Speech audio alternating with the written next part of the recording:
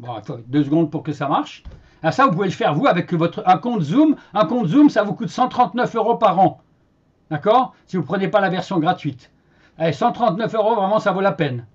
Et vous avez 100 personnes qui peuvent être avec nous et vous pouvez faire ce que je suis en train de faire. Donc, euh, euh, envoyez ça sur. Alors, il y, a, 20 secondes de décalage d'ailleurs entre ce qu'on se dit ici et euh, YouTube. Quelqu'un, voilà. Vous allez voir dans quelques secondes, YouTube va, va, se mettre en marche. Regardez, il commence. Ça y est, c'est parti. Ok. Donc, je reviens. Je disais je commence. Donc, on va parler du social selling et le pourquoi et le comment du social selling. Et je vais commencer par vous présenter les fondamentaux, les fondations du social selling selon Loïc Simon. D'accord? Et ce que je vous disais, c'est que vous pouvez retrouver euh, cette présentation et d'ailleurs beaucoup d'autres choses dans mon profil. Voyez Dans mon profil, j'ai. On peut, mettre, euh, on peut mettre en avant un certain nombre de posts ou un certain nombre de présentations ou d'articles. Vous l'avez peut-être vu. Hein et là-dedans, vous avez par exemple cette présentation qui s'appelle le social selling autrement. Et, qui, et je pense que là, elle est à jour en temps réel puisque c'est directement le Google Doc qui est présenté par, euh, par, LinkedIn ici. Mon Google Doc, celui que je suis en train de vous montrer ici. Ce qui, fait aussi que quand je modifie mon Google Doc, c'est évidemment automatiquement modifié dans mon Google, dans mon LinkedIn. D'accord? Donc ça, c'est une fonction assez sympa, je dirais, qui a été rajoutée il y a quelques semaines au niveau du profil ce côté qu'on appelle featured. Hein? Voilà, featured. Et là, j'ai mis par exemple les éditions, parce que je fais un peu de pub pour ces webconférences maintenant. OK? Voilà. Alors n'oubliez pas que le plus important pour vous, euh, d'ailleurs, sur votre profil, ce sera ça. Quelles sont vos activités? C'est ça qui va faire que vous serez reconnu, etc. etc. OK? Alors, je reviens sur la présentation, et je vais laisser d'ailleurs, euh, je vais laisser la présentation comme ça. Voilà. Donc, pour ceux qui ne savent pas, le social selling, c'est et la manière d'utiliser les réseaux sociaux pour se vendre, pour vendre. Et c'est ma phrase préférée, euh, parce que ce n'est pas la peine d'expliquer en quatre ou cinq phrases, avec des circonvolutions, l'objectif et puis la, nature du social selling, mais c'est ça, quoi, en fait. Hein. C'est l'art et la manière, ça veut dire que ce n'est pas LinkedIn, c'est n'importe quel réseau social. On peut faire du social selling avec TikTok. On peut faire du social selling avec Snapchat, avec YouTube, avec WhatsApp, avec euh, évidemment avec Facebook, qui est très utilisé pour les professionnels, évidemment, avec n'importe quel réseau social en fonction, évidemment, de ses objectifs et de sa stratégie. D'accord? Bon, évidemment qu'il y a deux réseaux sociaux qui sont très en pointe en ce moment, en termes de progression et de capacité à s'y faire voir. C'est LinkedIn, d'un côté, très, très, qui est en train de monter euh, très rapidement et qui vous permet d'être encore très visible et, d'exprimer vraiment qui vous êtes, ce qui est beaucoup plus difficile aujourd'hui sur Instagram ou sur, Facebook peut-être, hein, du fait des algorithmes, du fait que tout le monde y est. Et puis le deuxième réseau social qui est intéressant pour les créateurs, un peu, euh, Lionel lui fait, il fait également du B2C, c'est TikTok qui va, qui va monter à, toute vitesse. D'accord? Y compris pour le business d'ailleurs, mais pas, pas les mêmes types de business. Voilà. Mais c'est l'art et la manière, donc ce n'est pas un, réseau social plutôt qu'un autre. D'ailleurs, on peut faire du social selling avec le téléphone, avec de l'événementiel, avec WhatsApp, etc. D'accord?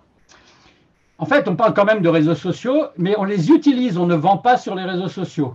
Ça, c'est très important de, bien comprendre que social selling ne veut pas dire e-commerce. Social selling veut dire vente plutôt complexe ou achat complexe quand on a besoin d'avoir des consultants, des coachs, des indépendants, des dirigeants, des commerciaux, des marketeurs, etc., qui interagissent avec les clients. Pas uniquement des gros hackers sur un, sur un, modèle de, tunnel de vente avec e-commerce derrière. Hein Pas uniquement. On peut, aussi, utiliser, mais euh, souvent on utilise le social selling lorsqu'on est un commercial, euh, que ce soit chez IBM ou, chez Fréquin ou chez... Euh, ou, qu'on est nous-mêmes un dirigeant d'une petite entreprise ou un consultant, un coach. Les meilleurs social sellers, d'ailleurs, c'est les consultants, les coachs, les indépendants, les freelances, les gens comme nous. Hein. Plus que les commerciaux, d'ailleurs, des grandes entreprises qui sont souvent muselés par leur direction générale ou par leur marketing ou leur com par rapport à ce qu'ils peuvent exprimer, ou alors par, la, par les lois et les régulations qu'il y a dans le domaine bancaire, par exemple, ou dans le domaine de l'assurance. Hein. D'accord? On fait attention à ce qu'on raconte quand on est... Euh, euh, par exemple, Hélène Lopez, qui est une, spécialiste de la vente, euh, qui travaille pour la BNP, hein, mais qui fait du social selling intelligemment. donc, on utilise les réseaux sociaux. Alors, autre chose qui est importante, le social selling, pour moi, en tout cas, ce n'est pas du marketing. Ce n'est pas de la com. Ce n'est pas de l'inbound marketing ou de l'outbound marketing. Ce n'est pas de la pub. Ce n'est pas faire utiliser euh, les LinkedIn ads, etc. On peut aussi compléter, évidemment. Il hein, euh, faut avoir une vision globale. On fait du SEO, on fait des ads, on fait un certain nombre de choses quand on est dans une entreprise. Mais là, on va utiliser plutôt l'effet réseau que l'effet média. Ce qui est important dans le social selling, c'est le, côté réseau du social selling, les réseaux sociaux. Ce n'est pas le côté média, d'accord? Donc, et l'objectif de ce social selling, ce n'est pas d'avoir des likes, ce n'est pas d'avoir de la visibilité, ce n'est pas d'avoir des followers pour avoir des followers, ce n'est pas de, simplement de se faire voir. Parce que c'est très facile de faire des posts ou des vidéos ou autre chose dans lesquelles vous aurez beaucoup, beaucoup de, de, visibilité, entre guillemets, ou de, lecture de votre, ou de, de vision de votre poste. C'est très facile aussi d'acheter des likes bêtement, comme certains le font, et ils viennent même le faire sur LinkedIn maintenant, hein, et ça ne sert à rien non plus dans, dans une optique de social selling. Ce qui est important, l'objectif, c'est de vendre vraiment ce qu'on a à vendre à la fin. Si par exemple j'ai à vendre des produits et des services, je peux, je peux très bien euh, faire plein de choses avec les réseaux sociaux qui ne me feront rien vendre du tout au niveau de mes produits et services. Si je veux vendre l'idée de la sauvegarde de la planète, hein, Greta Thunberg ou autre, bah, si je parle d'autre chose pour avoir des likes, mais je ne vendrai pas mon, projet, ma vision de la sauvegarde de la planète. Donc il faut, il faut vraiment penser à la vente. Et tout le monde vend d'ailleurs, hein. y compris Greta Thunberg par exemple. Elle vend. Elle vend des projets, elle vend des idées. Donc c'est ça le social selling. Est-ce que vous avez une question, une question sur la définition du social selling? C'est bon? Vous pouvez la mettre en chat? Non? Éventuellement, je regarderai le chat de temps en temps. Après, moi, ce que je remarque, c'est la manière dont les gens font du social selling aujourd'hui. Alors, regardez, ça, c'est la méthode standard que vous utilisez. Enfin, non, vous n'utilisez pas toutes ces méthodes, mais en général, selon les gens que j'ai en face de moi, vous allez utiliser une ou deux de ces trois méthodes. Peut-être les trois d'ailleurs. Première méthode utilisée par les commerciaux de, souvent qui ont besoin de faire de la prospection et qui sont un petit peu à l'ancienne. Être à l'ancienne, ça ne veut pas dire qu'ils sont vieux. Hein. Moi, j'ai 64 ans, je ne suis pas un commercial à l'ancienne, d'accord? Les commerciaux à l'ancienne, c'est les gens qui utilisent uniquement les réseaux sociaux pour faire comme avant, pour travailler comme ils travaillaient il y a 10 ans, ou il y a 5 ans, ou, a, il y a avant même les réseaux sociaux. C'est-à-dire qu'ils vont simplement utiliser LinkedIn, par exemple, ou Facebook, ou, euh, Twitter, pour rechercher des cibles, comme ils appellent ça. Hein, ah, je recherche mes cibles. Et une fois que j'ai recherché mes cibles, qu'est-ce que je vais faire? Ah, bah, je vais les contacter, je vais leur envoyer un email, comme on dit dans LinkedIn, ou alors je vais leur envoyer une demande de connexion un peu bourrin, ou alors je vais le faire de façon plus astucieuse. Hein. On n'est pas obligé d'être bourrin. Hein. moi, je le fais aussi de temps en temps, mais de façon un peu plus. Euh, qui apporte de la valeur à la personne avec laquelle on veut se connecter.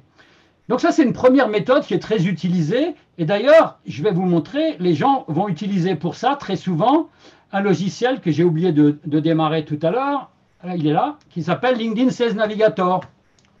LinkedIn Sales Navigator, c'est une des versions payantes de LinkedIn dans lesquelles vous pouvez avoir, euh, vous pouvez faire des recherches par exemple, on va chercher, euh, je ne sais pas quoi, les directeurs, directeurs euh, financiers. Hein voilà. Vous allez pouvoir faire des recherches avec plein de filtres. Alors, excusez-moi, ma, version est en anglais ici, parce que hier, j'ai fait un cours à des, à des internationaux, donc j'ai oublié de remettre ma version de LinkedIn en français. Hein. Donc, bon, demain, je elle sera en français. Donc, vous voyez, ici, on peut utiliser plein de filtres pour pouvoir choisir nos cibles quand on est commercial. D'accord? Avec LinkedIn Sales Navigator, d'ailleurs, on peut utiliser des filtres beaucoup plus puissants qu'avec le LinkedIn gratuit. Et avec le LinkedIn gratuit, on est limité euh, dans le nombre de recherches qu'on peut faire dans un mois. Parce qu'évidemment, LinkedIn veut que vous achetiez ce logiciel-là qui s'appelle Sales Navigator quand vous êtes un commercial. D'accord? Donc, ce que font souvent les, commerciaux, c'est qu'ils vont, utiliser euh, euh, ce genre de logiciel pour aller trouver des cibles ici, vous voyez, des gens. Et ensuite, qu'est-ce qu'ils font? Eh bien, soit ils prennent leur téléphone et ils font du cold calling, hein, ou alors ils utilisent un petit logiciel pour rechercher automatiquement les numéros de téléphone et les emails, et ensuite ils spamment avec du mail. ou avec du cold calling. Ou alors ils envoient directement des demandes de connexion, éventuellement en masse, grâce à des logiciels qui permettent de faire de l'automatisation, de comme celui-ci là, qui s'appelle Linktelper, où il y a Prospecting, il y a plein de logiciels qui sont interdits d'ailleurs par LinkedIn, d'accord? Mais qui ne sont pas illégaux. Donc, par contre, il faut faire très attention. Il faut apprendre à servir des Ferrari, là. Hein parce que si vous ne savez pas où servir de la Ferrari, vous faites virer de LinkedIn, par exemple. Mais bon, voilà, voilà une méthode qui est très utilisée par beaucoup de commerciaux. C'est ce que j'appelle la méthode de recherche et éventuellement de l'interaction, enfin pas d'interaction, mais de connexion ou d'email ou de, ou de cold calling ou de spamming de masse. D'accord? Ou pas de masse d'ailleurs, hein, on peut aussi être plus précis. Moi, j'utilise de temps en temps cette méthode-là. Évidemment aussi. Hein Et je pense que l'automatisation, ça peut avoir du bon pour être plus efficace par ailleurs. Donc on peut très bien donner à des, assistants virtuels ou à des assistants logiciels la tâche de faire quelque chose pour nous. Mais il faut faire très attention. Hein voilà, ça c'est une méthode très utilisée par les vendeurs et par ceux qui font de la prospection également externalisée pour le compte de société. Deuxième méthode qui est très utilisée, c'est celle-ci. C'est celle que j'appelle le partage, le partage de contenu, comme diraient les marketeurs. Alors ça, c'est ce que vous faites a priori. Euh, je vais même prendre au hasard, tiens, je, vais, je, vais, je vais prendre Nathalie Hooper, tiens, au hasard. Nathalie, tu peux, je me permets de te prendre toi comme exemple? Tu es d'accord? Je ne suis pas forcément le bon exemple, je ne suis pas encore lancée, moi. Ah je bah, viens justement pour démarrer. Eh, ah, mais on va voir ce que tu fais. Alors, bon, prenons un exemple. Qu'est-ce que je pourrais prendre d'autre Jean-Philippe, non. Bah, si, je vais te prendre toi, on va voir ce que tu fais. Tiens, allez hop, en quelques secondes, on va regarder. Euh, Nathalie, euh, je vais juste vous montrer pourquoi. Voilà. On prend quelqu'un au hasard, oui, totalement au hasard en général, d'accord? Bon, alors elle se lance, elle n'a même pas mis de bannière, etc. Mais ça, tout ça, ça s'apprend, hein, faire, faire un, un... Elle a une belle photo. Hein. Bon, et puis on va regarder son activité. Elle, a une, petite activité, vous voyez ici. Hein si, elle ne faisait que des likes, like, like, like, ou rien du tout, ce que font beaucoup de gens, hein, on ne verrait même pas qu'elle a une activité, d'accord Les likes, on ne les voit pas là. Donc on se dirait, cette personne ne m'intéresse pas, elle n'est pas active, donc pourquoi je me connecterai avec elle? Voilà comment des gens comme moi pourraient réagir, d'accord Ou d'autres prospects. Bon, elle a une activité, donc on va regarder son activité, vous voyez alors, on voit qu'elle like, euh, bon, elle fait des trucs, elle like, bon, un peu beaucoup de likes. Hein. Vous allez voir. Et puis, elle fait quelques posts, j'espère, on va voir. Hein. Ah ben non, mince, effectivement, comme tu dis, tu fais en plus, tu fais rien, toi. Donc, euh, bon, ça c'est encore pire. Hein. Euh, prenons quelqu'un qui a une petite activité, on va prendre au hasard Nicolas Paul, parce qu'il n'a pas parlé, là, on va regarder. voilà, Nicolas Paul. C'est lui? C'est toi, artisan électricien, ou c'est celui-là? Artisan, on va prendre, on imaginons que c'est lui. Oui, c'est lui. Ah, lui, on voit déjà qu'il l'utilise un peu plus. Vous voyez, il s'est mis un truc, il a mis des petits machins. Euh, c'est le gars qui, dit j'utilise les réseaux sociaux. Vous voyez, il dit ça. Hein. ça crie un peu le fait qu'il l'utilise. Eh bien, alors il a mis son feature aussi, comme moi, vous voyez. Et puis il a une activité, il a quand même 3000 followers. Donc le gars, il sait, hein, il sait un peu plus de quoi il parle, lui. Hein. D'accord? Là aussi, vous voyez, euh, on peut se dire c'est quelqu'un qui est actif. Alors quelqu'un qui a 425 ou 235 contacts, on peut se dire c'est quelqu'un qui n'est pas très actif sur les réseaux. D'accord? Enfin, on en rediscutera de ça. On va regarder ses postes. Bon, ben lui, eh ben lui, il fait les choses bien. Donc c'est dommage parce qu'effectivement, il va, il va être plutôt dans le sens de ce que je voulais expliquer. Mais je vais quand même en trouver un qui n'est pas très bon au hasard. Je vais prendre Eugénie Fracasse, comme elle n'est pas là. Eugénie, finir par en trouver un. Sinon, c'est que ma, ma, démonstration est mauvaise en fait. Il faudrait que je prépare au départ, vous voyez. Ah, alors, elle, s'en occupe, hein, voilà, Eugénie. Ah, 69 followers, donc elle ne fait pas grand-chose encore pour l'instant en, termes de développement de son réseau. On va regarder ce qu'elle poste. Et ben voilà, là on arrive au typique. Voilà, ce que je voulais dire, c'est ça. L'autre façon de faire du social selling qu'utilisent 99% des gens, quand ils, expriment quelque chose, c'est je fais des likes, clac, clac, clac, clac, clac, ou alors je, regarde simplement, hein, je suis espion, ou alors je fais du partage de contenu. Vous voyez, là, elle a fait du partage. Donc, qu'est-ce qu'elle a fait? Génie, elle s'est dit, tiens, je vais partager ça. Alors, c'est peut-être pas sa boîte à elle, d'ailleurs, hein, Alizé Plasturgie, je ne sais pas. Hein. Il y en a qui font ça, ils font, ils font que la pub de leur boîte, hein, certains. Mais c'est peut-être pas ça qu'elle a fait ici. Hein. Parce que ça ne marche pas en général. Regardez, il n'y a, a, pas d'interaction par rapport à Nicolas, où on a vu qu'il avait, plusieurs, qu'il avait pas mal de commentaires et d'interactions, qu'il y avait, il y avait du mouvement autour de ses posts. Hein. Elle, il n'y a rien. Hein. On, va, on va aller plus bas. Ici, elle a, là, ce qu'elle a fait, c'est quelque chose de bien, c'est qu'elle a, elle a inséré dans LinkedIn un document PDF, vous voyez Et si elle a écrit quelque chose de correct là-haut, il est possible que ça ait pu créer des interactions. Mais non, parce que c'était peut-être pas terrible ce qu'elle a raconté là. Ou alors, elle a que 69 euh, contacts dans son réseau, donc il y a très peu de personnes, de toute façon, qui ont vu son poste si elle n'en a pas fait la promotion. Ah, ah. bon. En théorie, ce qu'elle fait là, c'est pas trop mal, la manière dont elle utilise les, réseaux sociaux, parce qu'elle fait pas beaucoup de. Ah si, elle en a refait ici. J'ai l'impression qu'elle travaille pour, euh, pour Alizé Plasturgie. Hein. hein voyez? Eugénie, elle doit travailler pour cette boîte. Donc souvent les commerciaux, souvent les commerciaux, ce qu'ils font, c'est ça, vous voyez. C'est je partage du contenu de ma boîte ou je partage du contenu que j'ai trouvé sur Internet ou je partage les posts de quelqu'un d'autre, vous voyez. Ils vont dans leur, ils vont dans leur accueil ici, ils regardent les posts qui ont été faits par d'autres personnes, hein. Voilà, ils regardent ça, ils voient Elsa Migo. Oh, c'est super ce qu'elle a partagé, Elsa. Donc, je vais faire un repartage. Elles vont faire un partage, share ici. D'accord? Ils vont faire ça je partage. Et en général, ils ne vont même pas écrire quoi que ce soit, vous voyez hein Ils vont juste partager. Ça, c'est mauvais. Ça, ça n'apporte plus de traction. Ça, ça ne vous permet pas d'atteindre des objectifs de vente ou d'interaction avec les gens. D'accord? Si vous voulez vraiment, euh, si ça vous a vraiment intéressé le truc de Elsa, ben, ce qu'il faut faire à ce moment-là, c'est plutôt de commenter. Vous voyez, il y a déjà deux commentaires et 39 likes là. Mais ce qui est intéressant, c'est de commenter et ce sera aussi autant partagé avec votre réseau, comme vous appelez ça avec vos connexions, que si vous faites un repartage. Le repartage est moins est souvent beaucoup moins pertinent que les commentaires en termes de visibilité, en termes de crédibilité, etc. D'accord? Donc, ce que je voulais vous dire, c'est que néanmoins, il y a beaucoup de gens qui font ça. Cette activité-là, qu'on appelle dans le jargon des marketeurs de la curation, en général. Quelqu'un d'autre a écrit quelque chose, pas moi, hein, quelqu'un d'autre, et moi, je le repartage ou je le like. OK? Ça, ça marchait très bien il y a 5 ou 10 ans. Quand j'étais chez IBM, encore il y a 5-10 ans, ça marchait très bien pour, pour acquérir de la crédibilité. Ceux qui faisaient ce genre de partage, ils étaient assez peu nombreux à faire de la curation sur les réseaux sociaux. Et donc, ils étaient visibles par leurs prospects, par leurs partenaires, par leurs, leurs confrères, etc. Et donc, ils pouvaient sortir du lot. Aujourd'hui, 99% des gens ils font des partages comme ça. Donc ça ne suffit plus. vous allez voir pourquoi. Troisième chose, les gens font des messages privés. Messages privés. C'est-à-dire, oh, tout d'un coup, je vois que Charlène est quelqu'un d'intéressante, et eh ben, je vais tout de suite rentrer dans un, messagerie privée avec elle. Tout de suite, tout de suite, tout de suite. Quoi qu'il, hein, si j'ai envie de raconter quelque chose, je vais lui dire viens avec moi en MP et on va en parler en message privé. Et je vais surtout éviter que les autres prospects ou clients potentiels sachent de quoi je parle. Et je vais en parler uniquement avec Charlène. Et ça, c'est dommage aussi, vous allez voir pourquoi. D'accord? Donc moi, j'ai une autre méthode pour faire du social selling qui est basée sur mes objectifs. Mes objectifs, c'est cela. C'est de me faire recommander, c'est de rentrer dans des conversations business, et c'est que mes, que mes prospects sachent tout de moi, je dis bien de moi, avant qu'on commence une conversation.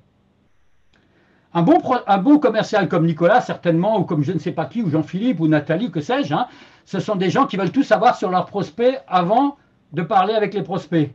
Un bon commercial aujourd'hui, c'est ce qu'il fait. Il va rechercher sur LinkedIn, sur Google, il sait tout. Mais moi, je fais l'inverse. Moi, je veux que mes prospects sachent tout de moi. Et pour qu'ils sachent tout de moi, ils ne vont pas le savoir uniquement avec mon profil, ils vont aussi le savoir avec mes activités sur LinkedIn, avec les types d'activités que je vais avoir. Et à partir du moment où, des gens qui, sont mes, liens faibles, c'est-à-dire les gens avec lesquels je suis connecté, qui sont euh, des, gens qui, qui, ont, qui, ont, participé à des débats en même temps que moi sur la base de posts écrits par d'autres ou par moi-même. À partir du moment où ces gens-là me voient, me, connaissent, me reconnaissent, ils vont pouvoir me recommander à un moment donné. Par exemple, Claudine, à un moment donné, que je ne connais pas, hein, ou Nathalie, que je ne connais pas, à un moment donné, si on est connecté sur LinkedIn et si on voit les uns les autres ce qu'on raconte et qu'on voit qu'on est pertinent dans nos domaines respectifs, eh bien, à un moment donné, on va se taguer sur LinkedIn. On va se recommander par du tagging, par de la mention, par de la citation. Et qu'est-ce qui va se passer à ce moment-là? Si on est tagué à bon escient, eh bien, on va pouvoir rentrer dans des conversations business. puisqu'on va être tagué sur des commentaires ou des posts pertinents par rapport à notre business. Donc moi qui ai comme objectif de me faire recommander, je vais agir sur les réseaux sociaux pour faire en sorte d'apparaître comme un référent dans mon domaine, comme un spécialiste de mon domaine, comme un praticien de mon domaine, que je vende des machines-outils, euh, des centrales nucléaires, du logiciel, euh, de, la quincaillerie euh, ou, de l'optimisme ou des conférences en optimisme comme Jean-Philippe ou Nicolas, je ne sais pas ce qu'il vend, on n'a pas regardé vraiment, mais voilà, d'accord?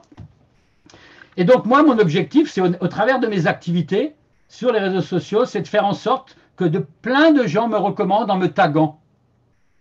Que plein de gens que je rentre dans plein de conversations qui sont pertinentes par rapport à ce que je vends. Que des gens m'ayant recommandé, m'ayant tagué, me, me fassent rentrer dans ces conversations.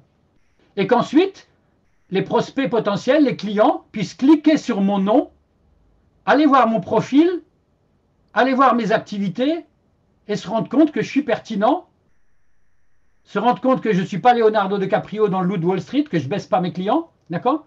Et puis se rendent compte que j'ai une certaine congruence dans la manière dont je m'exprime dans mon domaine. Et donc ils vont avoir envie, je les appelle, ou vous avoir envie de m'appeler. Voilà, c'est ça que je veux faire moi. Et c'est pour ça que j'utilise une méthode qui s'appelle Salsa, qui est la suivante. Et là, je vais vous donner juste deux mots là-dessus, puis vous reviendrez en masterclass demain, ou la semaine prochaine, ou la semaine d'après. Chaque, chaque semaine, il y a une masterclass le vendredi matin, hein, chaque semaine, si vous ne pouvez pas venir demain.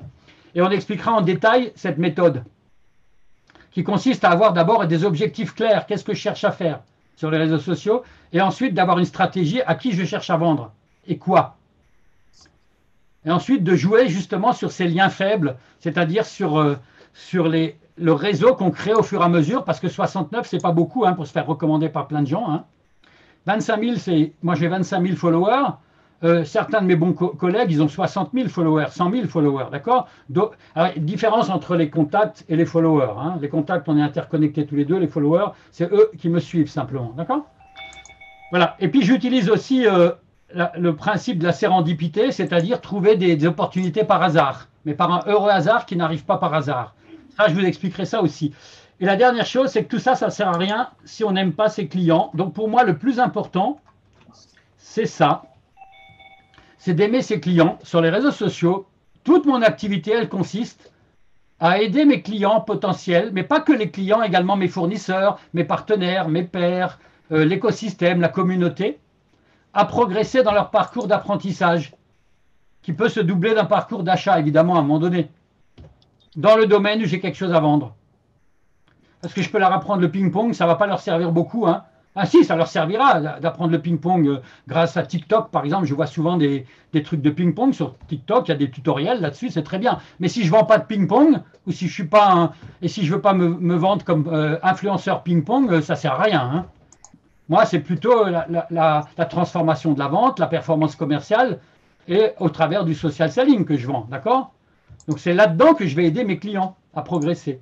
Et vous verrez demain aussi, pour ceux qui viennent, comment moi j'utilise la règle des 50, 20, 20, 10, que vous pouvez trouver ici dans un article que j'ai écrit il y a quelques temps, ma, règle des 50, 20, 20, 10.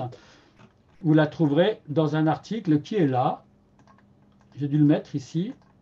Où il est? Ah, oh ben, il est trop loin. Où il est mon article? Ah mince, ah je l'ai enlevé.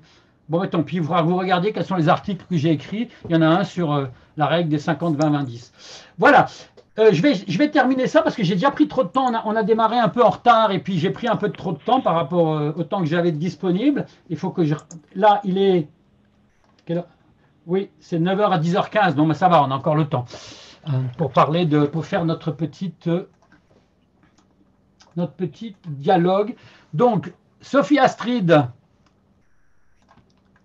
euh, Lionel Clément, Grégoire Pinault, vous mettez vos micros et vous me rejoignez sur la scène. Hein, vous êtes là, donc on, vous voit, vous êtes tous là. Grégoire, il est où? Je le vois? Où il est Grégoire Pinault? Ah, il est là, il est là. Mais mets, ton micro, mais moi. Je suis là, attends, je coupe autre chose de l'autre côté. Voilà, donc vous, êtes là tous les trois, je vous vois bien. Et la question qu'on va se poser ensemble, et après on ouvrira aux questions-réponses, c'est. Où est-ce que, j'ai mis maintenant? Ah oui, c'est ça. C'est. Euh, où est-ce qu'il est le premier? Annecy. Pourquoi et comment? Pourquoi faire du social selling quand on est un dirigeant et ou, en l'occurrence là, un vendeur, d'accord? Un vendeur de tout ce qu'on veut. Donc je vais poser la question à Sophie Astrid. Sophie Astrid, pourquoi le social selling? C'est la première question. Pourquoi le social selling? Vas-y. Alors j'ai envie de répondre parce que euh, l'ancienne méthode est morte. L'ancienne façon de prospecter euh, en porte-à-porte notamment et, euh, a, vécu.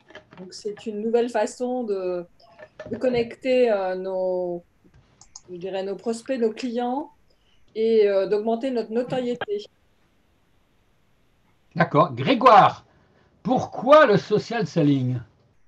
Pourquoi? Parce que c'est des nouvelles formes de, vente aujourd'hui. Et moi, je me rends compte dans mon business, euh, mon plus gros dossier récemment, je l'ai, euh, il m'est tombé dessus tout seul par, le, par Internet. Donc pourquoi? Parce que les, gens ben, voient ce qu'on fait, voient ce qu'on donne et euh, se disent bah, tiens, il serait pas mal celui-ci. Et il n'y a même plus besoin, dans certains cas, de vendre. les gens viennent à nous. Donc c'est pour ça qu'aujourd'hui, c'est, stratégique de faire du social selling. Euh, mon premier client euh, pour ma, nouvelle société, euh, je l'ai trouvé en faisant un message privé en lui disant bah, Tiens, on, est sur le même secteur d'activité, ce serait pas mal qu'on soit en relation l'un et l'autre pour échanger. Deux mois après, il m'a contacté et avec ce client-là, j'ai fait 40 000 euros de chiffre d'affaires. Ok.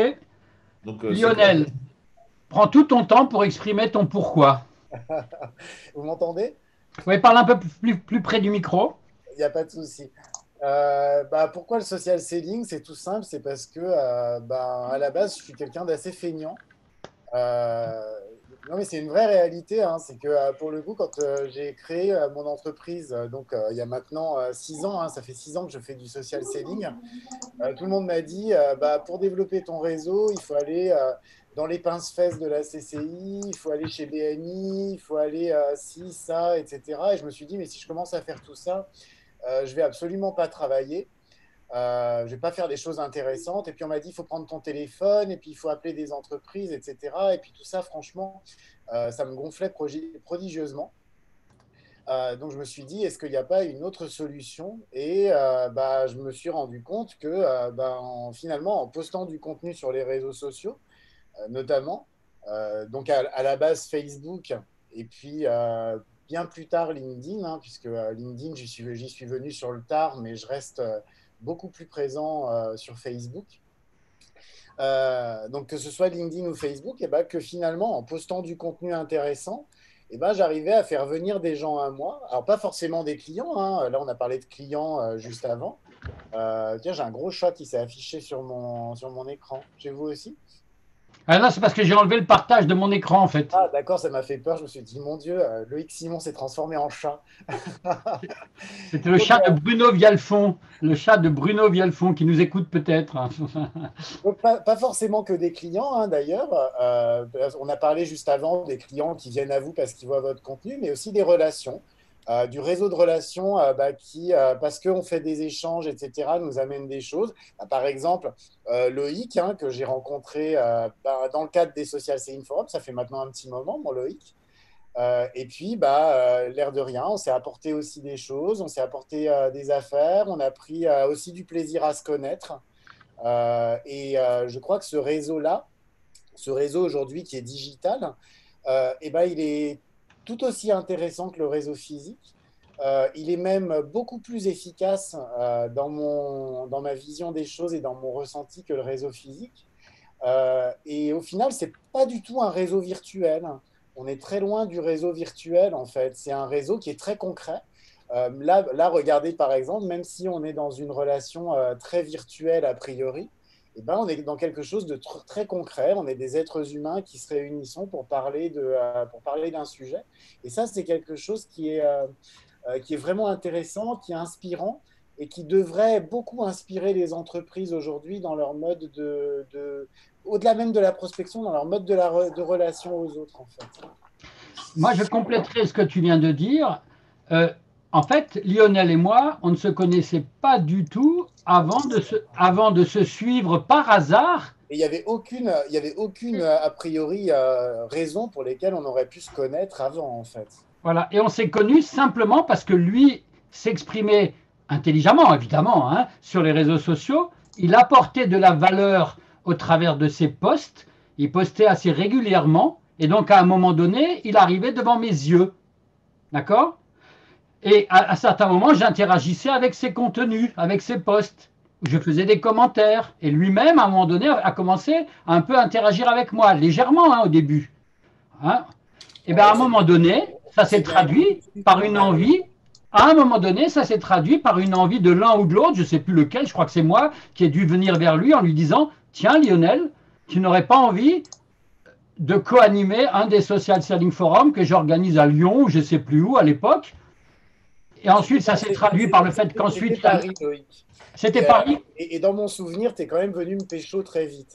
Ouais, je suis venu te pécho parce que je, fais de la prospection. Hein. Moi, je, moi, je prospecte en fait des organisateurs régionaux de Social Selling Forum. Mon objectif, c'est de, de, trouver un organisateur pour un Social Selling Forum à Dijon, à Besançon. Là, c'est Grenoble, Lionel. C'était le troisième qu'on va faire à Grenoble, par exemple, organisé par Lionel. Sophie Astrid, c'est Van, par exemple. Vous voyez Et tous ces gens-là, je les ai connus exclusivement par les réseaux sociaux au début.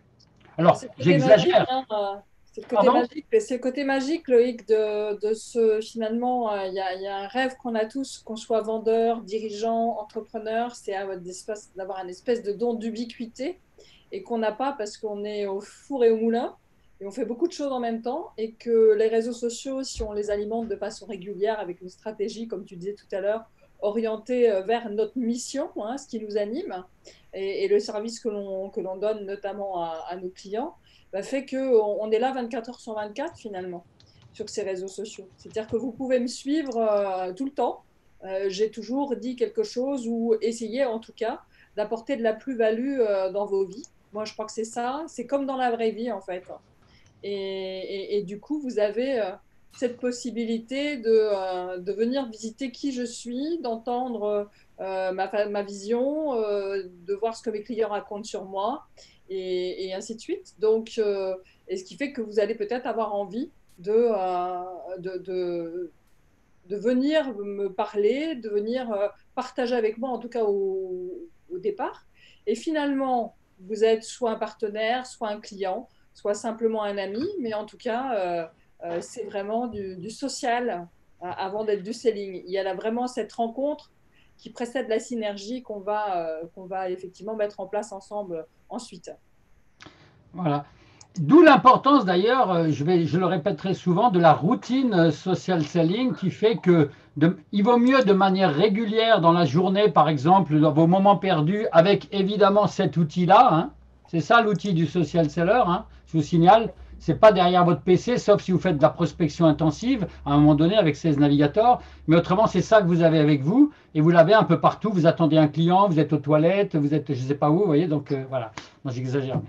Pas c'est ce que je viens de faire avec le téléphone, hein, Loïc. Voilà. voilà. C'est le poste que je viens de faire euh, il y a quelques minutes pendant que tu parlais. Il y a 10 minutes, vous voyez, elle a fait un poste il y a 10 minutes. Euh, alors, le comment? Grégoire, Dis-nous comment tu fais, toi? Alors, on va regarder d'ailleurs hein, sur les réseaux. Je vais voir si, que tu, si, tu. Alors, on fait pas tous. Attention, hein, on n'est pas tous parfaits. Hein. On fait souvent beaucoup de choses euh, à la ramasse où on n'est pas à tout moment euh, l'archétype absolu du meilleur social seller du monde. Ni moi, ni Lionel, ni Sophie Astrid, ni Grégoire, je pense. Alors, on va regarder. comment tu fais, Grégoire? Raconte-nous. Euh, moi, déjà, j'essaie de, de me connecter avec des gens que je connais ou avec lesquels je peux avoir des affinités. Donc ça, c'est la première chose. Quand je vois des choses qui m'interpellent, euh, que ce soit pour des causes ou pour des choses qui m'interpellent, j'essaie de les partager ou de les commenter. Et aussi, chose que j'essaie de faire, et ça, j'incite tout le monde à le faire, c'est de se dire, à un moment, on va donner ou on va, on va recevoir des choses. Et moi, ce que j'essaie de faire, c'est de partager des choses qui peuvent avoir une valeur ajoutée pour certains de mes clients. Euh, c'est-à-dire, je vois un post intéressant pour... Euh, qui va intéresser un de mes clients ou un de mes prospects, eh ben, je vais essayer de lui partager l'information. De même, sur certains partenaires avec lesquels je travaille, je vais leur partager des infos ou leur partager des choses que je vois. Et derrière, je sais que ça revient tout seul directement. Donc, les, dossiers reviennent. Euh, moi, je donne beaucoup sur les réseaux sociaux et derrière, euh, euh, j'ai du retour, des choses qui me reviennent. Et après, il y a de la mise en relation. Et la mise en relation, le message, c'est de se dire aujourd'hui, moi, quand je fais un message, euh, je ne veux pas vendre. C'est-à-dire que je veux me mettre en relation au départ, essayer de construire une relation dans la durée et derrière, ça reviendra. avec ces gros sabots, comme je vois plein de commerciaux le faire, qui me demandent une mise en relation et qui derrière euh, veulent me vendre quelque chose, c'est pas la peine, j'insiste pas.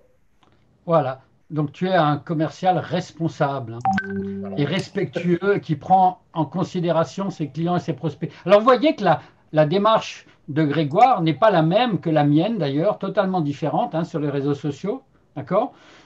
Grégoire, je pense que tu aurais intérêt à venir un jour à ma masterclass et qu'on partage ensemble euh, la raison pour laquelle tu devrais faire un peu moins de partage et de repartage et plus de commentaires ou apporter plus encore euh, dans tes repartages, tu vois? Hein, voilà. Et, ton réseau, tu pourrais le développer encore plus, Grégoire. Tout à fait.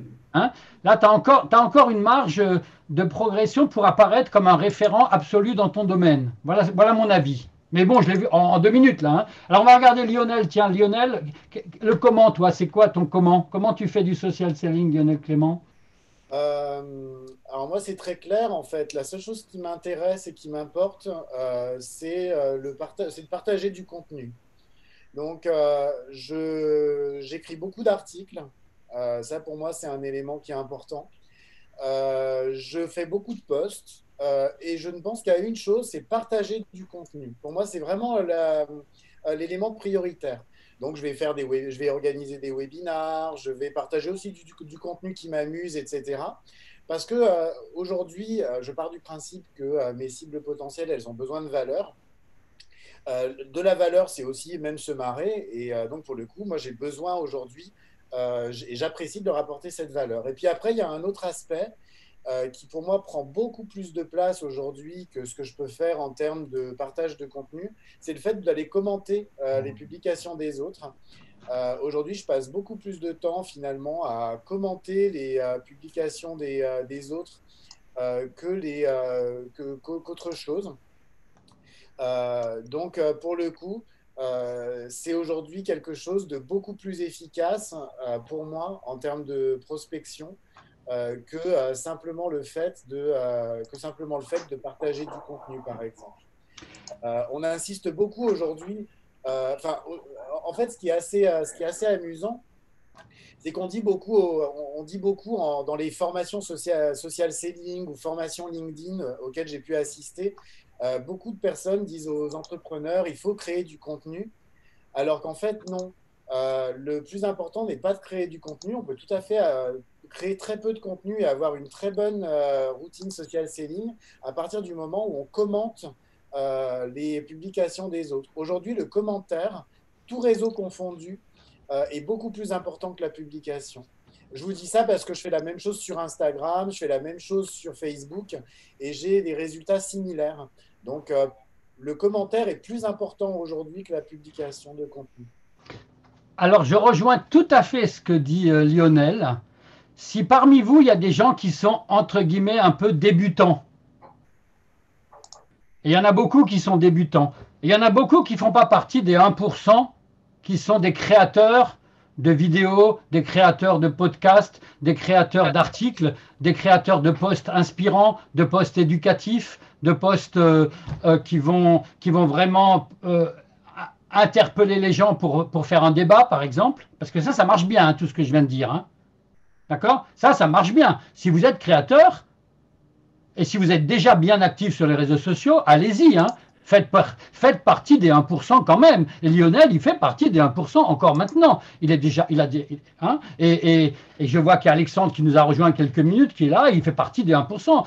Et, moi, et moi également, j'écris des posts, que ce soit des posts inspirants, des posts éducatifs ou des, quelques posts promotionnels également. Hein. D'accord?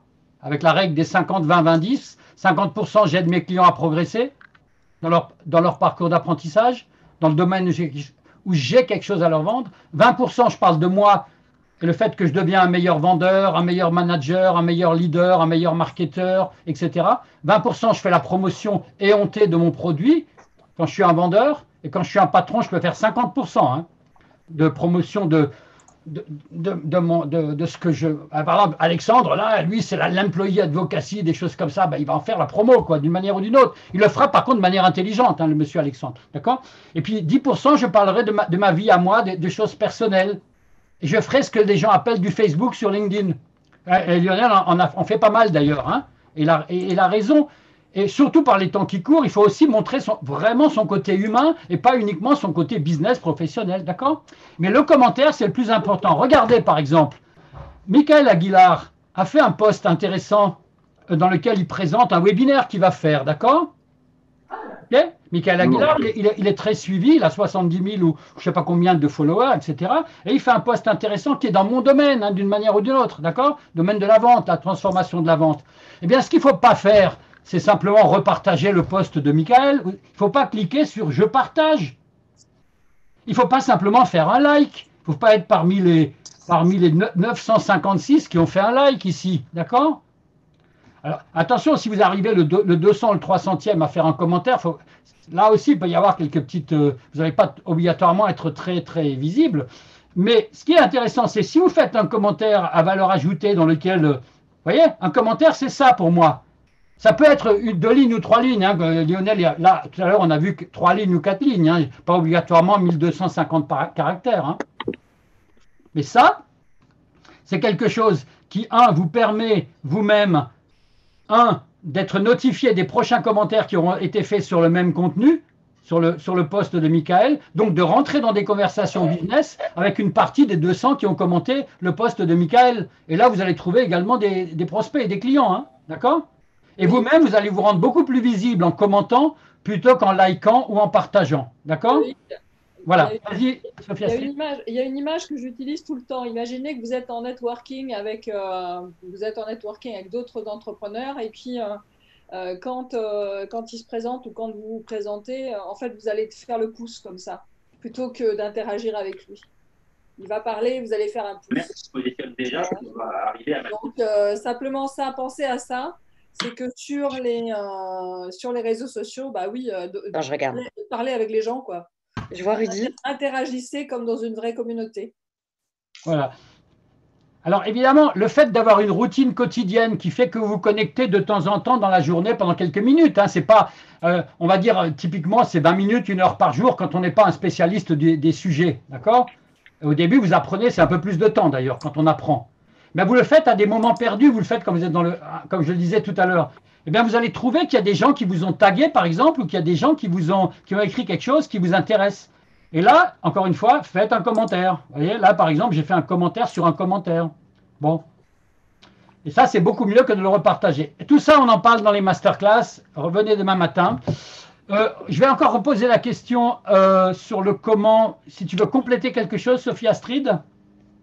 Sur comment, euh, bah, quand tu parles de la routine, oui, allez, j'ai envie de dire, allez, allez écouter demain matin euh, euh, Loïc. Il y, a une vraie routine. Enfin, personnellement, je, je, vais, je suis souvent sur les réseaux sociaux. En même temps, c'est mon métier, mais il n'empêche que j'ai établi une routine qui est la mienne aussi. Alors, elle est peut-être différente de celle de Loïc, mais, mais elle a en tout cas, il y a au moins une habitude certaine, euh, euh, c'est de commenter, et quel que soit le réseau social, je veux dire, euh, moi je commande sur Facebook, je commande sur LinkedIn, je commande sur Insta, je commande sur Insta, je commente aussi sur Twitter. En fait, j'interagis. J'ai vraiment envie de, je dirais, de conclure en disant interagissez. C'est alors à cette période en plus, j'en parlerai cet après-midi dans ma keynote, mais c'est extrêmement important d'interagir les uns avec les autres parce que la relation, euh, c'est avant tout euh, ce qui compte pour démarrer une relation professionnelle, une relation commerciale. Euh, oui, quand on parle de routine, moi je vous montrerai ça. Moi je commence par ça, hein, les notifications. Hein.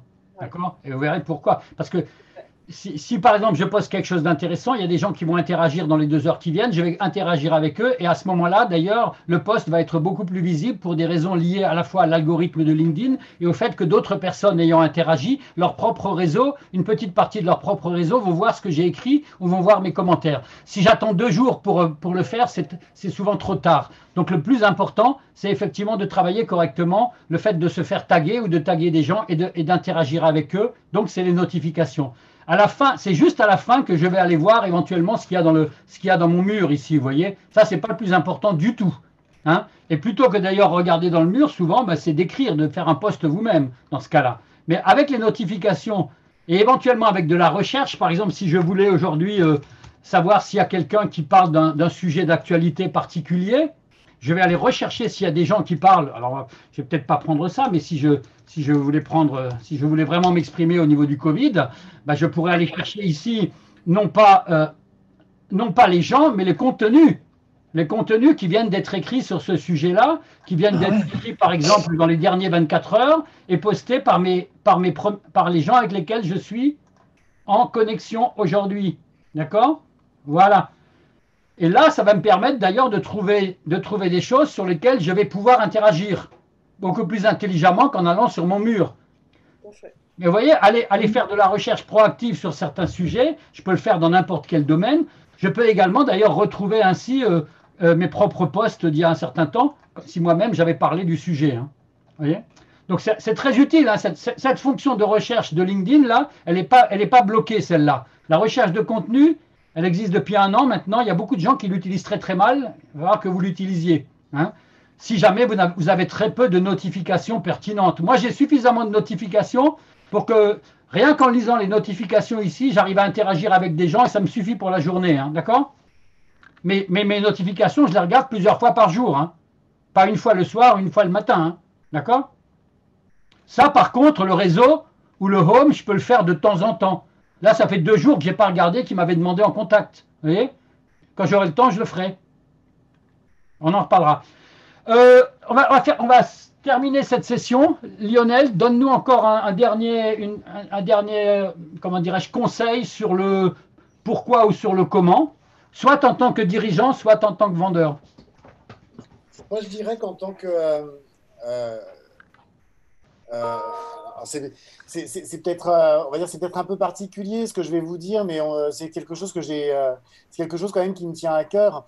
C'est que je suis toujours surpris du fait que LinkedIn ce soit le seul réseau social qui ait besoin d'une adoption. vous savez, c'est-à-dire, en gros, Facebook, quand ça s'est lancé, les gens, ils ont créé leur profil Facebook, ils ont commencé à publier avec leurs proches et ils ne se sont pas posé de questions. Alors que sur LinkedIn, euh, j'ai l'impression que personne n'ose y aller et que personne n'ose partager du contenu euh, et personne n'ose interagir euh, par peur ou Dieu seul sait quoi. Et donc, c'est pour ça qu'on se retrouve à faire des formations social selling, des formations LinkedIn, parce qu'il y a besoin d'une adoption. moi, je crois que le, meilleur moyen, en tout cas aujourd'hui, d'arriver à développer du social selling, bah, c'est tout simplement de se lancer. vous ferez forcément des conneries, euh, vous ferez aussi plein de trucs bien. Les conneries, personne ne vous en tiendra rigueur. Euh, je crois que la, vraie priorité, c'est de vous lancer et puis d'être vous-même. Euh, tout à l'heure, je sais qu'on a on va avoir un, un, keynote sur le fait d'être soi-même sur les réseaux sociaux. Mais le fait d'être soi-même sur les réseaux sociaux, je crois vraiment que c'est l'élément le plus important euh, arrêtez euh, de euh, vouloir à tout prix être quelqu'un d'autre, de vouloir être dans la posture du vendeur ou la posture du dirigeant, etc. soyez vous-même, parlez avec vos mots. je crois qu'il n'y a rien de plus important et surtout partagez du contenu qui pour vous compte et puis apporte vraiment de la valeur. Je crois que cette authenticité que vous allez apporter, eh ben, c'est peut-être la meilleure chose que vous allez pouvoir faire pour votre présence sur LinkedIn. Euh, mais aussi sur n'importe quel autre réseau social, hein, peu importe que vous soyez sur... Euh, hier, j'étais avec des étudiants euh, et on a fait une journée sur comment créer un influenceur en fait sur Instagram. Et on a analysé beaucoup de profils d'influenceurs sur Instagram et on s'est rendu compte que les profils qui fonctionnaient le mieux, c'était les profils qui étaient les plus authentiques. Euh, et euh, qui justement étaient euh, montraient la meilleure image d'eux-mêmes, les gens qui étaient les plus formatés, etc. Ce n'étaient pas nécessairement ceux qui avaient le meilleur fonctionnement, même s'ils avaient beaucoup, de, beaucoup de followers, par exemple. Euh, ce n'étaient pas ceux qui avaient le plus d'engagement.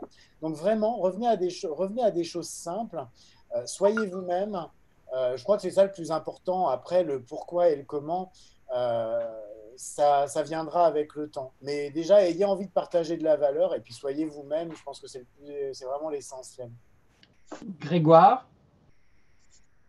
Tu es encore avec nous, Grégoire? Il a Grégoire est parti, il avait une urgence, il a noté dans le chat, il est parti, ah oui. une urgence client.